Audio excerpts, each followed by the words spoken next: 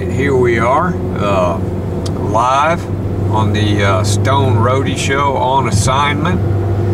And uh, Craig sent me out here today to uh, to hang out with Gene Odom because uh, Gene Odom's always uh, a great guy to have on the on the podcast. And so I'm gonna turn the camera around here and we'll flip it around here try to get both me and Gene in here.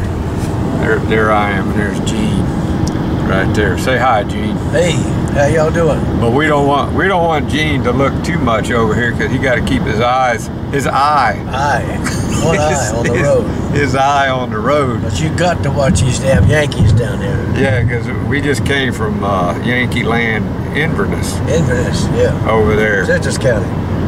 Yeah, so anyway, I'm on assignment over here, I'm gonna flip this back around and show you. We're on our way to uh, over to Jacksonville to, to visit Jimmy Withers because uh, Gene has to get a laptop from Jimmy and get back on Facebook so so he can uh, say hi, oh Silver. I'm going to bed. No story tonight. I'm Gonna watch Gunsmoke. Gunsmoke. But I thought this was a good time, and I'm gonna and I'm gonna go ahead and, put and put Gene on camera right here, like I did back when we did the West Side tour. And this is the same camera that I had then. It's a good little high definition camera, and uh, when we did the the uh, the uh, West Side tour, and uh, Gene's going. I want Gene to tell the story about Ronnie Van Zant. We were talking about it earlier about Ronnie Van Zant catching that bass because we were talking about bass fishing, and a lot of people don't even know where that lake was. Gene, I thought it was in Jacksonville, but it wasn't in Jacksonville, was it? That Ocala National Forest, uh, south of Palatka. And what was the name of the lake? Delancey. Lake Delancey? Yeah. And how did you guys find that lake, Gene? We fished down the lake for years and years. Um, we used to hunt rabbits and squirrels down there um, in that area. And um, gosh, how we found it? Oh, uh, it's not too far from Rodman Reservoir, and we was just hunting down there sometime, hunting a place to fish, and we found Lake Delancey. There's a little bitty fish camp on that lake, the only fish camp around.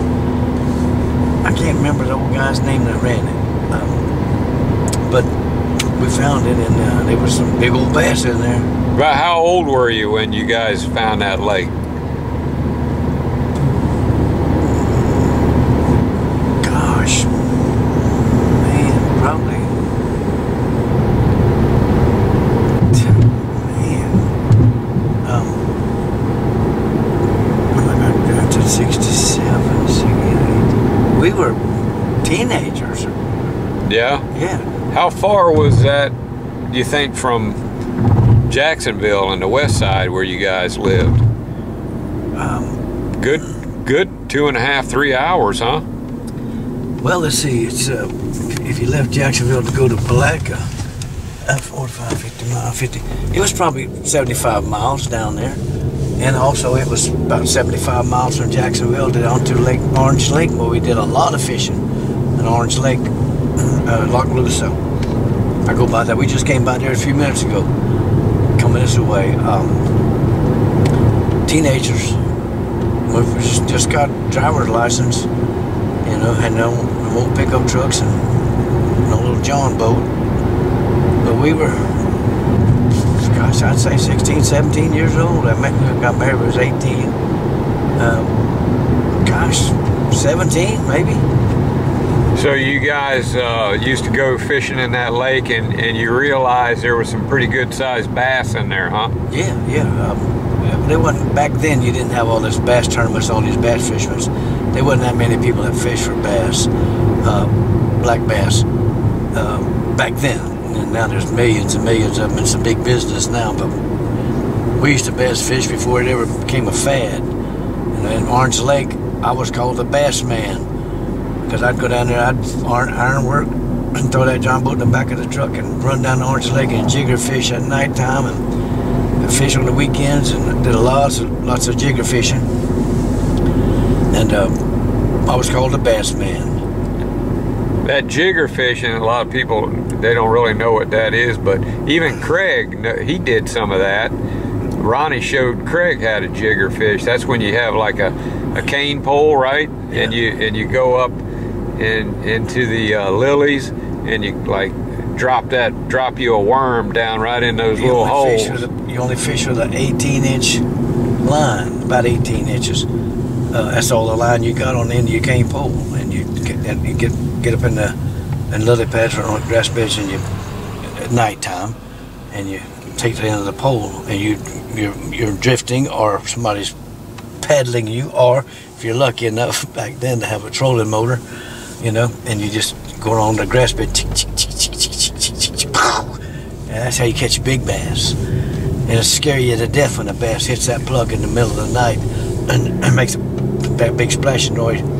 Normally, it'll scare you every time it happens because you're not expecting it. You're looking for it, but you're not expecting it. Big old bass hits it, you know, scares the piss. Is that mostly when you did it in the nighttime? That's how you do jigger fish at nighttime. Oh, only in the nighttime. Yeah, only at nighttime. Yeah.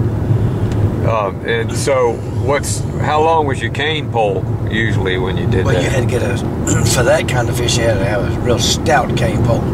You get the longest one you could get, and you would cut two or three feet off of it to the, so you took the, that the nimble end off, you yeah. took the nimble end off of it and make it a good stout. You know, because when you hook that bass, you got to drag that pole back and drag him out of the weeds. And or if you have two people in the boat, you fight him up to the, the person in the back or the front, and they'll throw the bass in the boat. You know, and uh, just scare the piss out of you know, when they hit it. So in this, so Ronnie had it in his mind that he wanted to get him a trophy bass, and of course he wanted to uh, have a trophy bass in an old truck. Was a couple of the things that he wanted, right? Um, Yeah, before he died, he always wanted an old truck and uh, he wanted a trophy bass. and so he was going to get him a trophy bass, and and did he did he want to just go like in early in the morning to uh, that lake and then like do some worm fishing?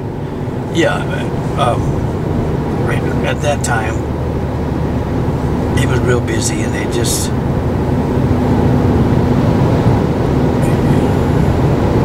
they were working on the album, rehearsing, and they rehearsed, you know, seven days a week.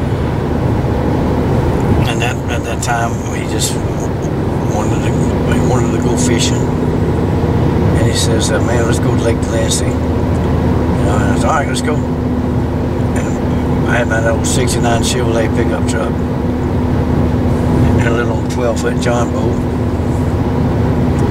And we got out there, Was it on a trailer or that you put it in the back of the truck? back of that pickup truck. And uh, it was, um, But you, I think you told me that you'd planned on going, and then the next morning when you got up, it was raining like hell or something. no, no, we, we got down there and uh, driving, pulling up, getting down in the woods. We're just back in the woods where you we drop the boat in. But most of the time we didn't have no outboard motor. And we'd get close to where we fished at, so we had to row or paddle or whatever. Soon as we started pulling up to, the area where we put the boat in, it started raining. And I backed on up and got close to the lake where we normally would stop at. And it was raining, and he said, we waited a few minutes. He said, let's go home, man. He said, I got stuff I can do. Let's just try and go home. I said, no, man. I said, let's stop here shortly. Was a second. He said, no, come on, man. He said, let's let's go. He said, I got stuff I can do. You know, I need I, I need to get done. Come on, let's go. I said, man, let's wait a little while, see if it stops. He said, man, let's, let's just go ahead and go. And then about that time, it stopped. Started stopping. And I said, look, man, look on the hood of the truck. I said, it's stopping right now, slacking up. You know, in just a second, it had quit raining. One of those Florida thunderstorms it had. Or, and uh, we threw that boat in the water. What time of the uh, morning was it, then? Was it just crack of dawn, maybe? Yeah, it was just, it was just, just sun up. You know, and um, we put the boat in and we went to the left where we'd always start fishing at. And I let him in the front of the boat, and uh, I was in the in the back of the boat, and I would be rowing or paddling. You, know, um, I don't think we had a motor at that time or that day, whatever. And uh, we just started. He, he used an old purple Jim Bagley's worm, and I used a black. He threw that worm and hit my old eelgrass, and, and that worm tangled him, and that worm hit the water. As soon as that worm hit the water, that big old bass swirled and hit that worm. I said, man, I said, there's your trophy bass right there. Set the hook. And he set the hook on that big old bass. And that morning when we were leaving, when I grabbed the dip net, put the dip net in the back of the boat, it ripped. The, the, the netting rip was rotted. And it, I I just threw it to the side so we didn't take no dip net. We didn't have no dip net. So when he hung the bass and was fighting over the bass, he said, Mom, we ain't got no dip net. You ain't got dip net. I said, just fight him. Just keep his attention on the line. Keep him out of the grass. Get him over by the boat. we ain't got no dip net, man. Why are we uh, He was freaking out. and I said, just get him over here by the boat. Get, him in. So he finally got the bass over by the boat. He put up a big fight. And I grabbed that big old bass by the mouth and flopped him in the boat. Man, and Ronnie was just jumping around, screaming, hollering, man, there's my bass, there's my trophy bass. You know, he was really, really, really, really happy, freaking out. And I told him, you better stop this, you're going to turn the boat over. You know, and uh, he grabbed me, hugged me, come on, man, like, this is it, miss, that's cool as hell. Let's go weigh it. You know, I said, we just started fishing. He wanted to leave, huh? on, let's go weigh it, man. Let's go weigh it. So the guy had a um, basket in the water, a cage, and you could put your fish in that cage and uh, pick them, come back later, or when you got through fishing, and pick your fish up. It's like a live well, you mean? Yeah, yeah. live well there. We, we put that bass in there, weighed it, eleven. It was either eleven pound eight ounces or twelve pound. I can't remember. I think it was eleven pound eight ounces. Twelve pound, right around twelve pounds. Were you guys like, after you had in the boat, I imagine, just like anybody else, you were trying to guess how much that damn bass weighed, huh? Yeah. Oh yeah, he knew that was the biggest bass he'd ever seen, plus the biggest bass he'd ever caught. What what kind of uh, gear was he using? He was Uh, using a. He was using a. Um,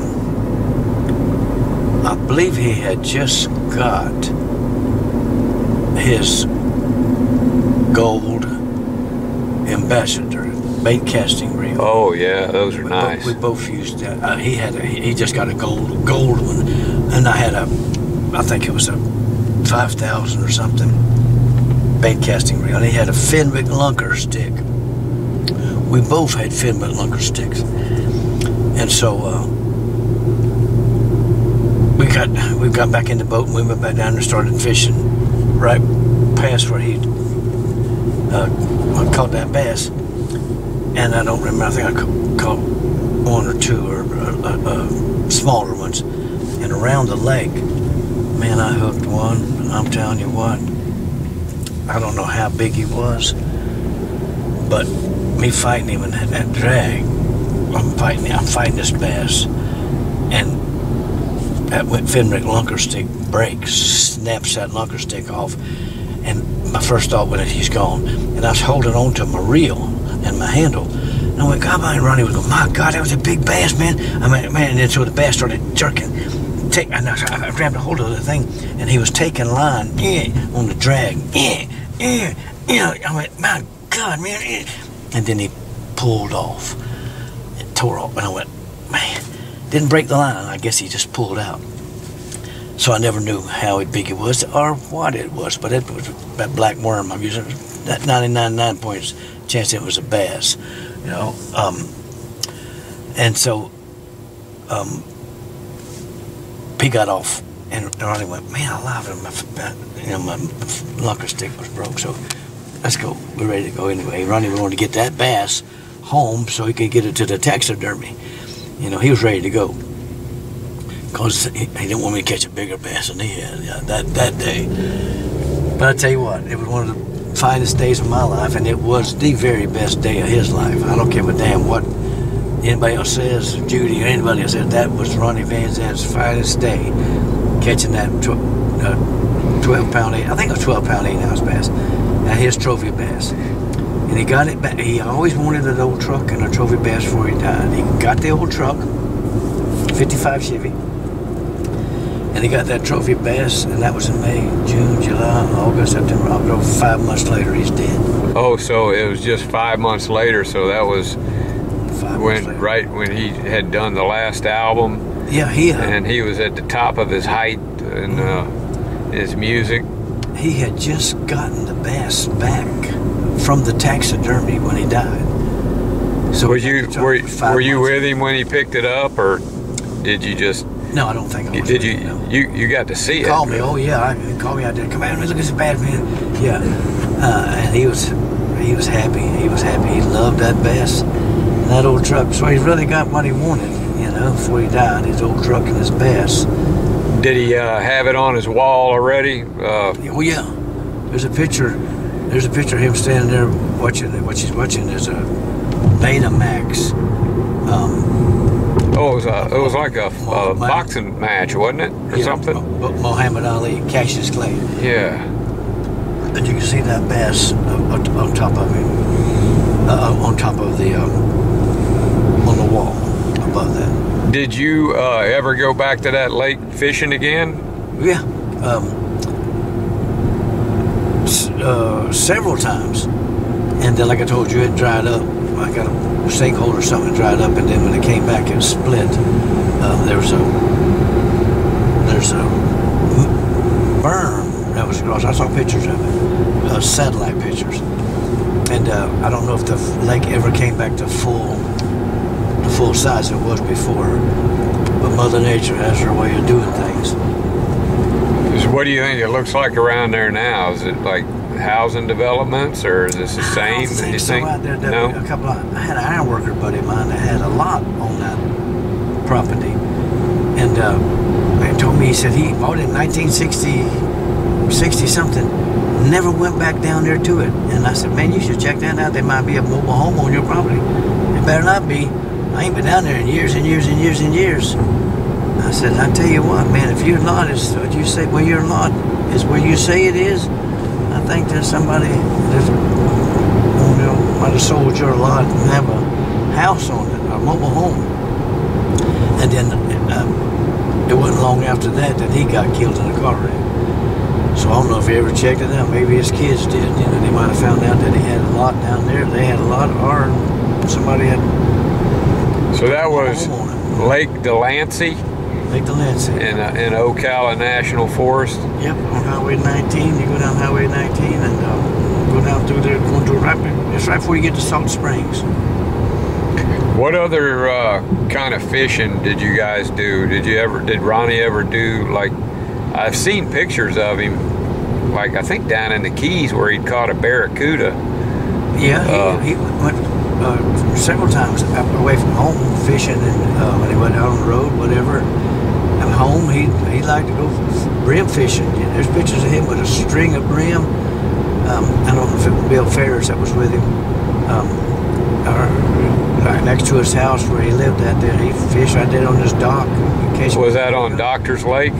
At, what he called those brim, that stringer, that's a picture of him on there. I don't know if it was there or somewhere else that he went with somebody, whatever.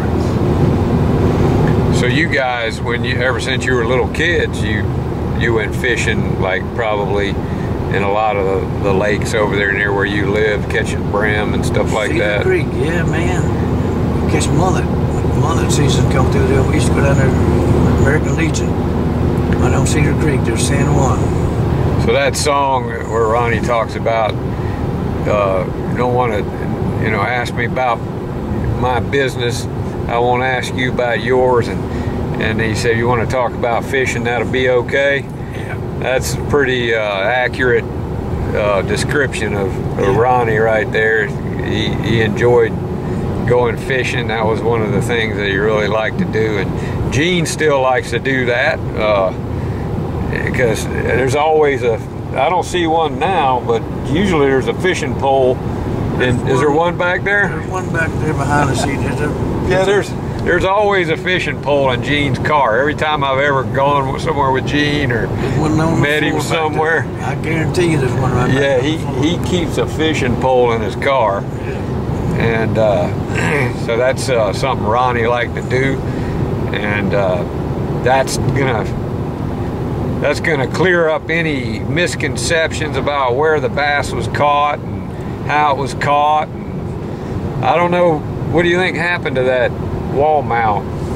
Ah, the last I heard, I think Melody has it. I think Yeah? Judy let Melody have it. That'd be uh, I saw a picture one time. I think they changed the nameplate on it. It may have been lost or whatever, and it caught my eye because of the the date that they put on it. Uh, um, I don't think the date that they got on it is right. Um, they may the date that they have on it may be right when he got it back from the taxidermy, but it wasn't the day he caught it. But it's it's his bass. He caught it.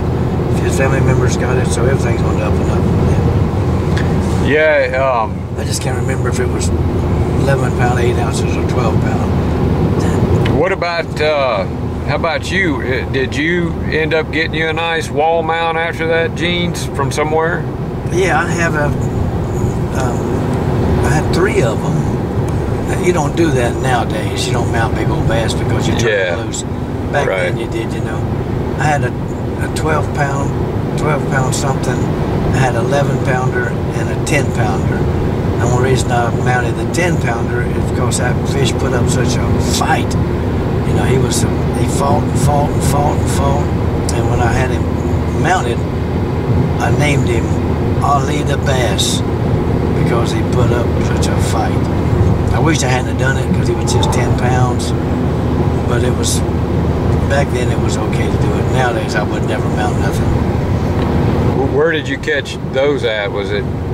Uh, Lake Delancey, um, Oh, so you went back to Delancey I and went back there many times. Orange Lake, I caught the other two in Orange Lake.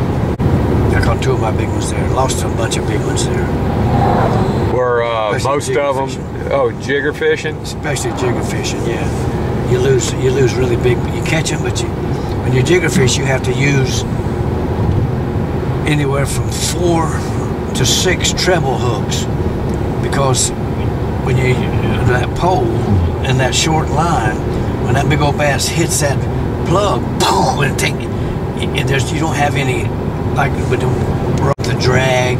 You got the fighting with the pole with that with that fishing pole. When he hits it, boom, you got such a tight line, and he'll just rip the hook out, rip the rip the uh, hooks out of his mouth. Or if you have to have enough hooks that he can't rip them out because of the force. Uh, I was there fishing Orange Lake one night. And I just c- caught a seven pounder and I had him in the boat. And uh, the next strike, boom, man, Big bass. And I lost him. Pitch black, pitch black. And so I kept fishing, kept jigging fishing, and had a strike. Missed him. Kept, missed him. I had five strikes in a row that I missed. That's it. I'm going home. I throw the John boat in the back of the truck, and I always put my jigger pole in the back and let it hang out by the by the bow of the boat. Put the jigger pole in there, had a spinner bait on it, and um, as I looked at it, I went, "What the hell?" I grabbed it. Oh my God! That big old bass had took every one of them treble hooks and ripped them out of it. It opened up the um, and they were through a, a, the hole of the of the of the spinner bait. They had ripped and opened up the eye and took the hooks.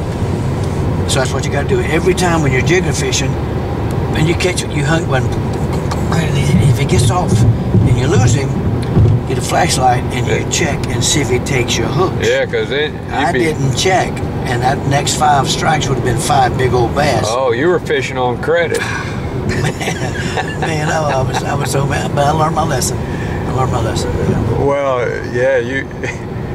And I know the one weighs seven pounds because when I got to this closest store that we always stopped at, I weighed the bass, and that bass weighed seven pounds.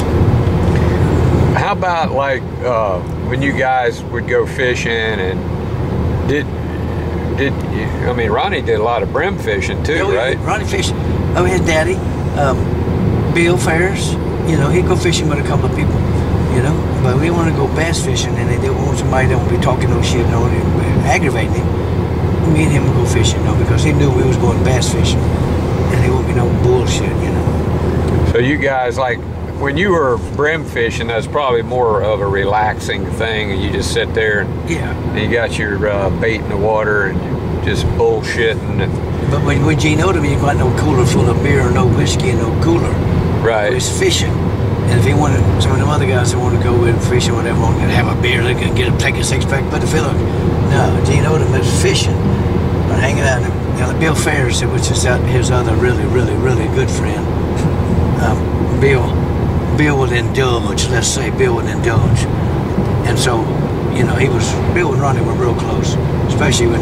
Is he still around? Yeah, Yeah. Bill Ferris, he's a good guy. I really think I met him out at the uh, at the Hell House property. He came oh, I out have- there. Yeah, he's cool as hell. Yeah, he's, he's Yeah, guy. kind of a quiet guy. He don't. Yeah, he don't talk. smart, educated, real, a real good guy. Yeah. he was a. He would indulge in and drink a little bit, and smoke a little bit of dope and whatever. But you know, if you wanted to go out and drink or want to have do some drugs, you wouldn't have want Gene Odom hanging around. You know, because I just don't want a part of that. I'm just telling me to leave if you start whip out the drugs and start Right. drinking too much.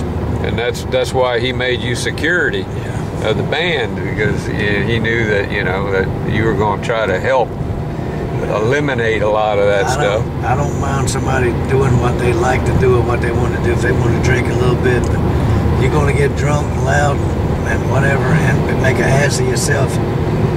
I remember. I don't need no part of it. Yeah, here's Gene passing now. We're gonna watch Passing Gene. a Tesla. He's passing a Tesla.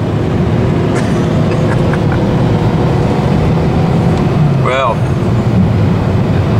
uh, yeah, so Craig one time told me, he said, Gene Odom said he never got high or drank or anything. He said, that's a lie. Gene Odom got high because at one time he was on the plane and there's so much pot smoke blowing around in there. He said Gene started kind of babbling a little bit, so we knew he was high. That's possible because they smoked some pot on that plane. I know that. That's why there wasn't no drugs found when the plane crashed because you wouldn't, you don't, you know, drugs don't hang around drug addicts very long. Drugs will be gone. Alcohol and drugs. Well, you, you know, you, you might have been high, you just don't remember. I just don't know it. But I know for a fact because I've never seen Gene take a, even a drink of or a sip of beer. Never nothing. So, uh, so yeah, Gene Gene was probably a great influence for Ronnie to uh, try to help clean things up in the band. But where are we now, Gene? Are we uh, we're heading through Key? We already went through Keystone Heights, right? Yeah, we just got through Keystone. This is Camp Blanding. This is the old uh, army base. Now it's uh, they do a lot of training. Uh, foreign soldiers train out there. A lot of National Guard, a lot of Army, lots of National Guard train out there. They have an airstrip there Oh, too? yeah. Yeah, I believe that's where Joe Crimp said his dad uh, did. He flew those planes. Those, uh, whenever Joe was a kid. This Uh, is a big, big base. This is this this base is probably 15 miles long, deep, and it goes that way for miles. This is a huge, huge, huge. So I know there's major airfields out there. yeah. Years ago, the Navy, they probably still do it. There's a bombing range out there. There used to be signs up here that says, "Beware of the noise. Freedom don't come cheap," or something like that. There used to be signs on the side because the Navy has bombing ranges out there. How far away are we from the west side? Eh, About 20 miles. 20 miles. All right, this is uh, part two of the uh, hanging out with Gene and he just dropped me off right here. And he just went by. He, he's going to turn around so we don't draw any uh, any uh, gawkers at, at me videoing this. But uh, this location right here is, is a lot of people don't know is where Allen Collins got paralyzed. He hit this culvert right here and I guess he was coming in this direction and not too many people know where this spot is. And uh, this is the uh, area right here. And you'd think it would have been something like a like a bigger ditch. It got filled in some over the years. And he was coming down the road uh, from this direction went around that curve. And then he uh, I guess he was probably doing what he does and you know speeding and reckless driving like Allen Collins did. And he went off the road and he hit that culvert right there. And it was either him or the, the girl that was with him that got ejected from the vehicle. But that's where Allen Collins got paralyzed. So there's another little tidbit of information for the Stoned Roadie Show. So Gene just dropped me off and I videoed that area where Allen got paralyzed and, and the girl got killed. And what happened, Gene? What what exactly happened there? Well, he when he left his house right down here and he floored it all the way down there. And by the time he got down there, he was doing 90 miles an hour.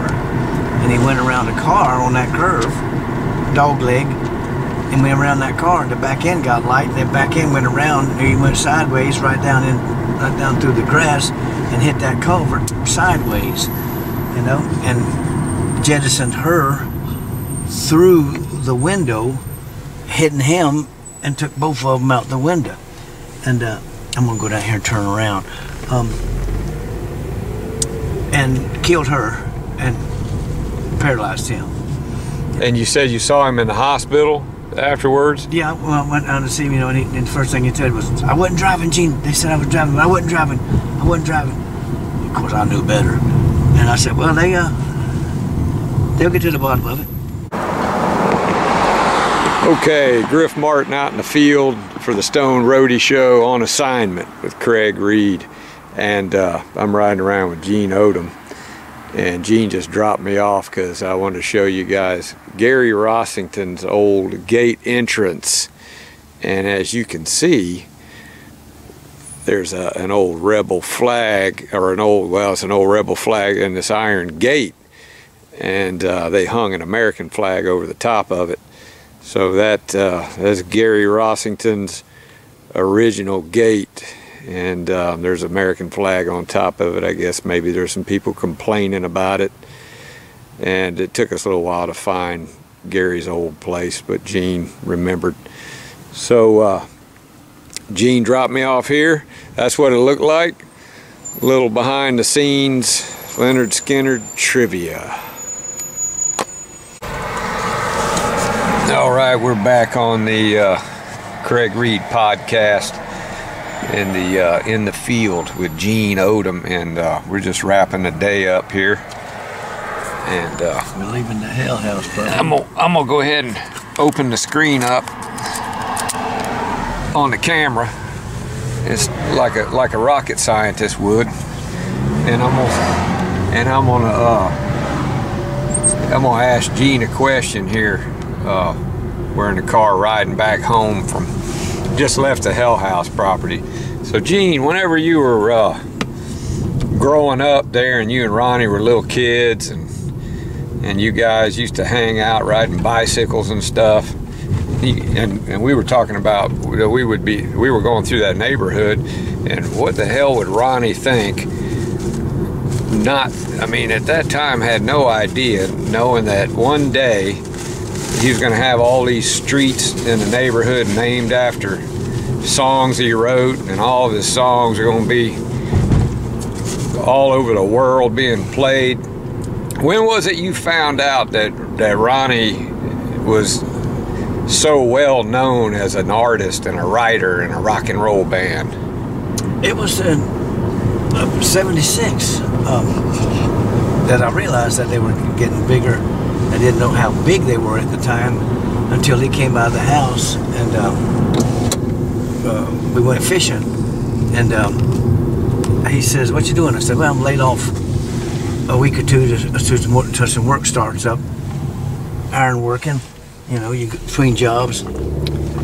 He said, "Hey man, we got about a week's tour lined up, ten shows or something like that, seven or ten shows, whatever. Northeast. It's this wintertime, winter of '76." He says, uh, "Come on out with me, man. Uh, come on, I'll show you what's going on." So we got up, went up north, and uh, on the bus, riding from gig hotel to the gig.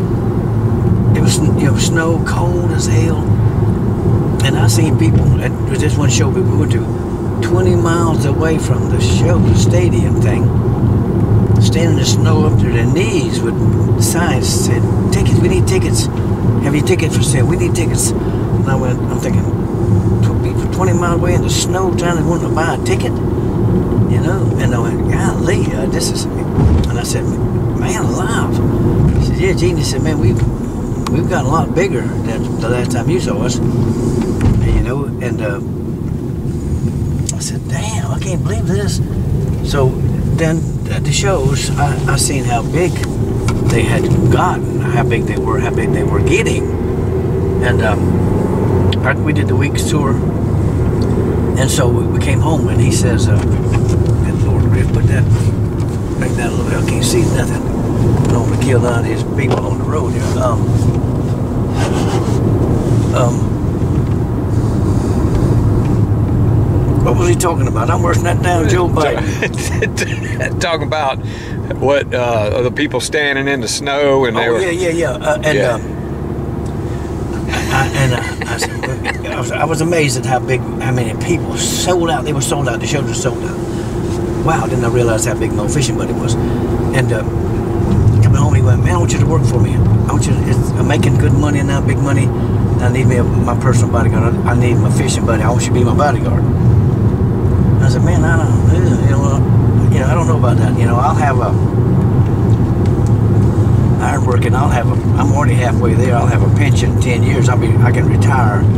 You know, I'll have a pension. You hippies break up all the time. You dope heads and hippies and drunks and band members break up and everything. And he said, No, man. He says. He says we going to Europe. He said, Get your. Get your. Passport. Get your passport. You, we're going to Europe. You can go with us, and I want you to work for me. I want you to be my bodyguard. I said, man, I, I said, number one, I can't go to Europe right now because I got a lawsuit, union, a union lawsuit I'm involved in. I can't go. It's all right. Well, we're going to Europe. I'll, I'll see you when I get back.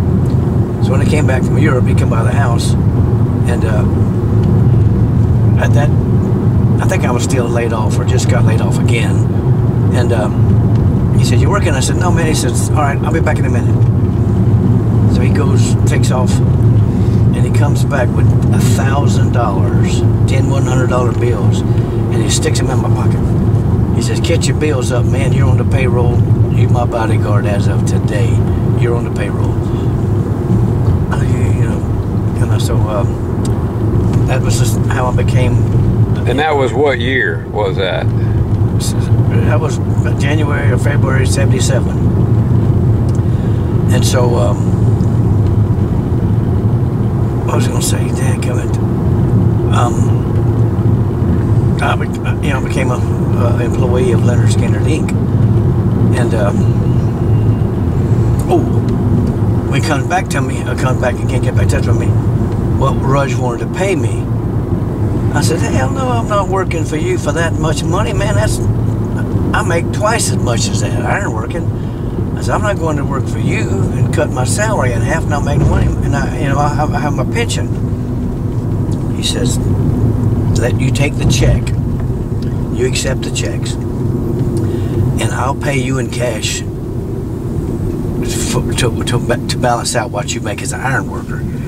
And he said, so you won't make, you won't lose any money working for me, and I'm gonna make you rich. You take care of me, I'll make you rich. So he started paying me in cash, Was that Ronnie saying that or Peter Rudge? Ronnie. Ronnie. And so he, I got my paychecks, and then he paid me in cash, and plus I we got a hundred it was $120 per diem back then. He says, you keep your per diem. You don't spend your per diem. You're all expense paid. I pay for all your expenses. So it was, it was good money, you know, for back then in 77. So um, I go to work for Ronnie, Skinner. And um,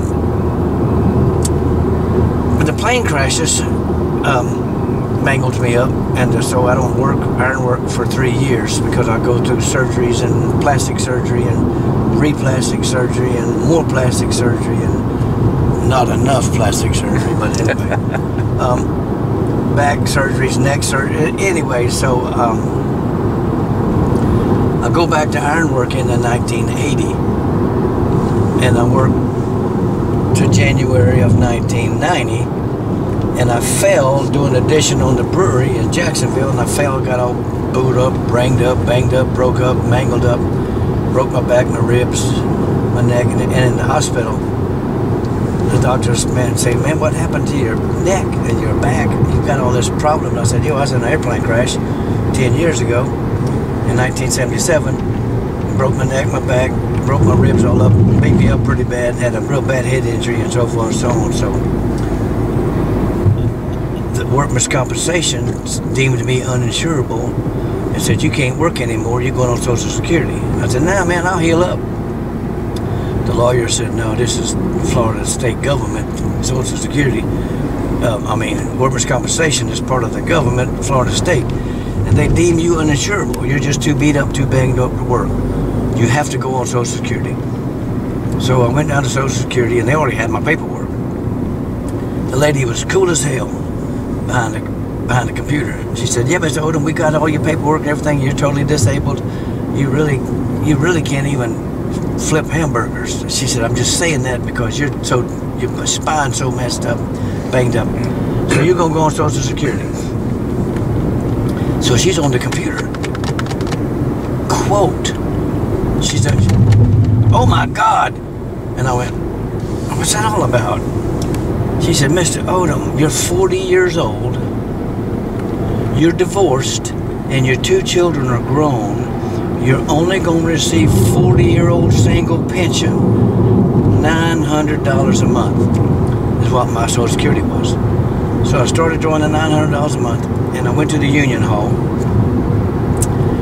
told the business agent, I here's my paperwork, Social Security paperwork, and get my pension started. So they call administrative services and say, you know, Gene Odom, disabled, union number, yeah, yeah, yeah.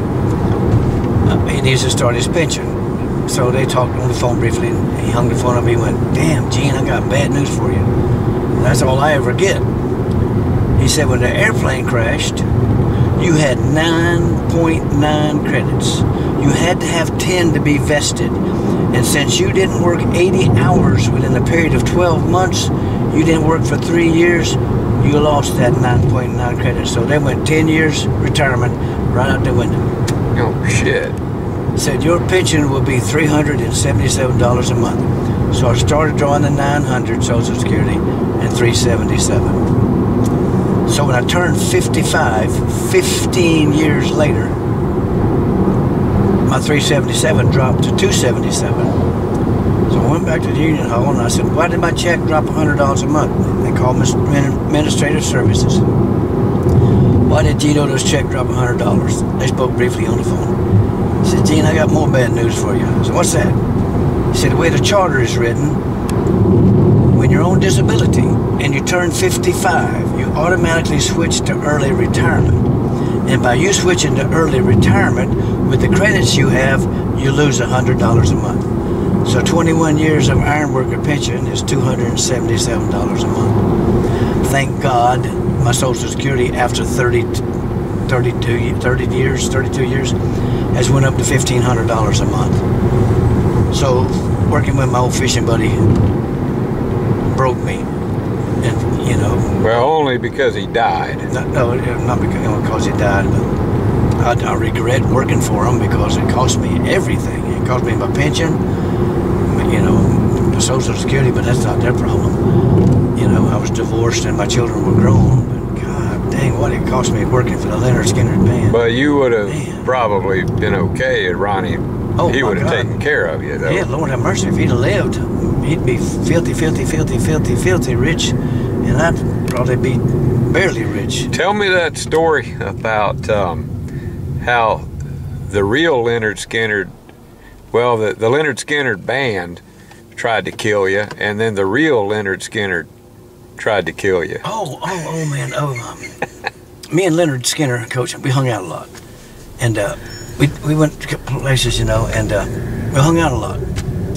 But he was a coach, and he coached girls fast pitch softball. He called me up one day. He said, "Hey man, I want to come pick you up. I want you to see this girl. She's can throw that ball underhanded 75 miles an hour." I went, "What?" He said, "Man, come on, you can't believe it." He said, I'm, "She's amazing." So he had a little, he had a little um, Mazda rotary, little Mazda rotary car, came, a small car, two seater. The overhead cam rotary yeah, engine. Yeah, um, RX-7. And so um, he picked me up, and we left the house, and we were gonna make a um, left turn on Timuquana.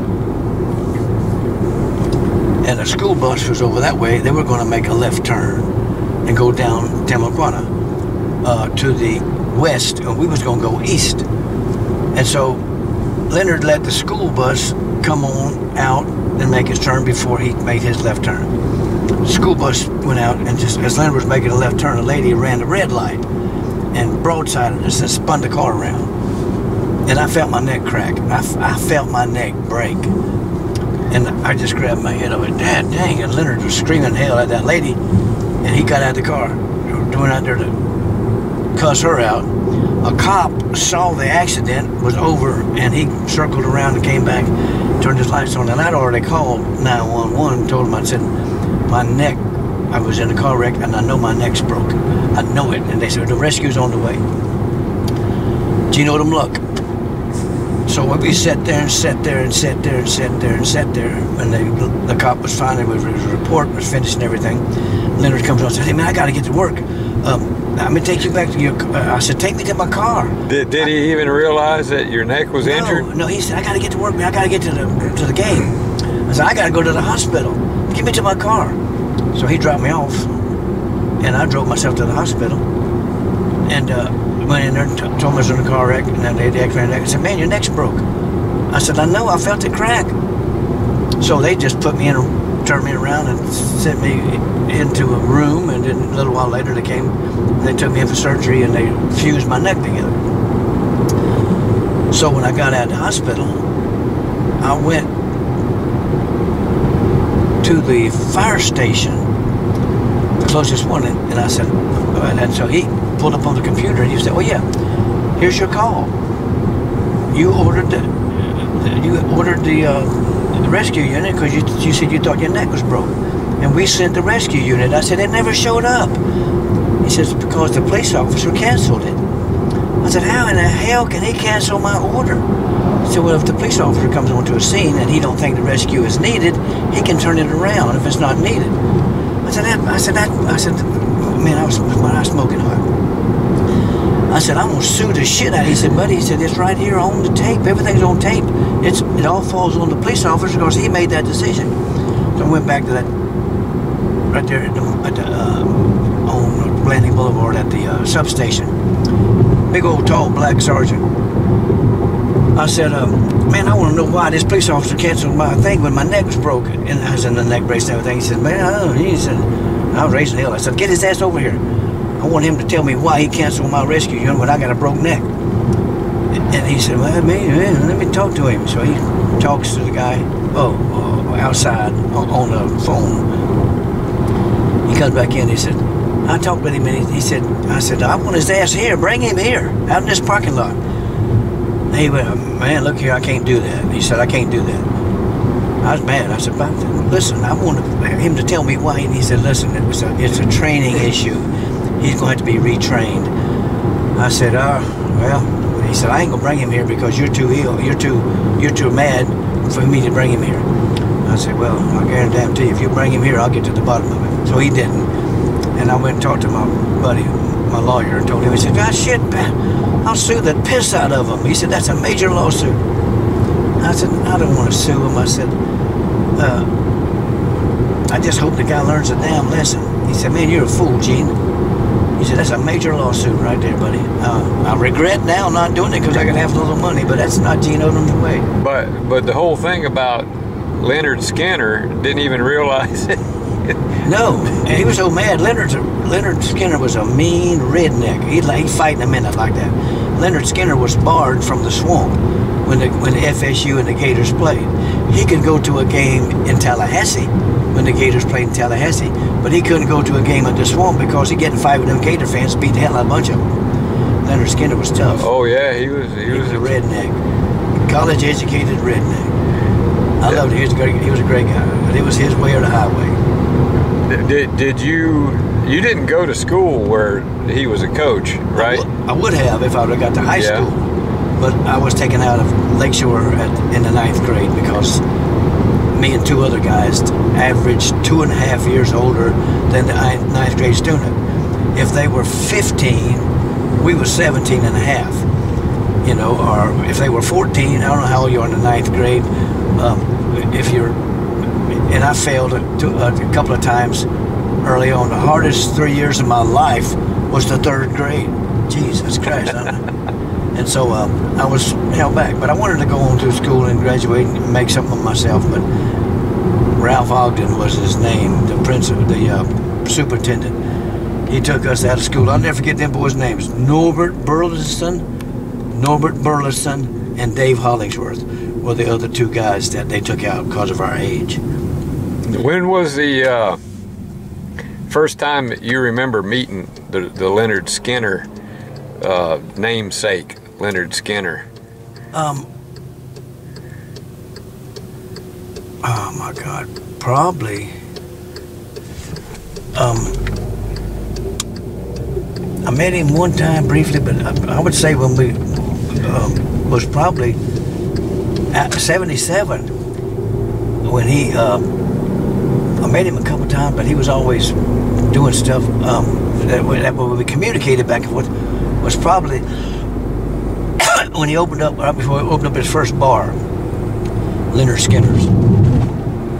He opened up. Finally, I think he had three of them. A couple at the beach, and one on the west side. We were friends before that, but we wasn't close friends as we got after he opened up the bar.